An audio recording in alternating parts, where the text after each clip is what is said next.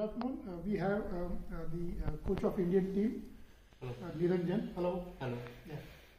Uh, yes, Niranjan. Um, uh, uh, today is the sixth round. India is extremely playing well uh, this tournament. Yes.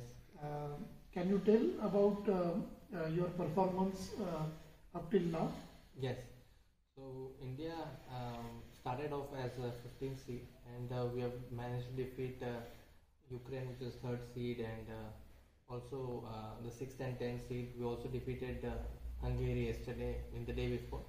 So I think uh, we have exceeded our expectations, and that speaks volumes about uh, the team composition and how they are playing. Great. Um, uh, you also have um, uh, two, two young players and fairly young team Yes. uh, altogether. And especially two players are under 20. Yes.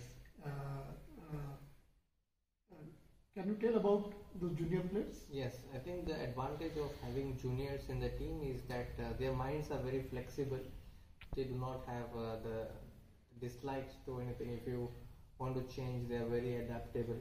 So, in case of uh, Aryan, Saundarya, and Marimuthu, they are um, pretty um, adapt, I mean, adaptable, and even Saundarya. So, if you ask him to change a few things, they are ready to do that, and they are willing to put all the hard work. So they are very hardworking boys, and uh, I think with uh, more time on chess, they are likely to improve uh, maybe in 10x speed if they are very consistent uh, with the practice. And I think, uh, fortunately, uh, all the young energy is in the team, and I'm very glad that the team is young. And if you compare with the other teams, I think ours is having the youngest. Uh, If you, look at the comparison, Comparison. Correct. so our players, uh, we are an young team. Yes, yes. Um, this venue, especially, um, uh, uh, is very good. Uh, so, what is your experience about the the uh, overall um, staying arrangements, uh, the playing conditions, and entirely as an as an um, a hosting facility?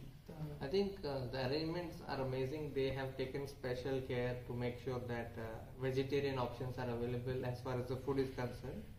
And also, uh, we have a very good arbiter who is very patient, and uh, because this is a very different kind of an event if you compare it with the normal events, because here the complaints are very unique, or the challenges are also unique, and we need a very patient uh, person to do that. So, our arbiter team and also the volunteers and the staying conditions are perfect and uh, i will be carrying great memories with me uh, of this event because of all the arrangements made here great. Uh, good luck to you and your team, Indian team, thank you sir for this event. uh, thanks for uh, making time thank you very much.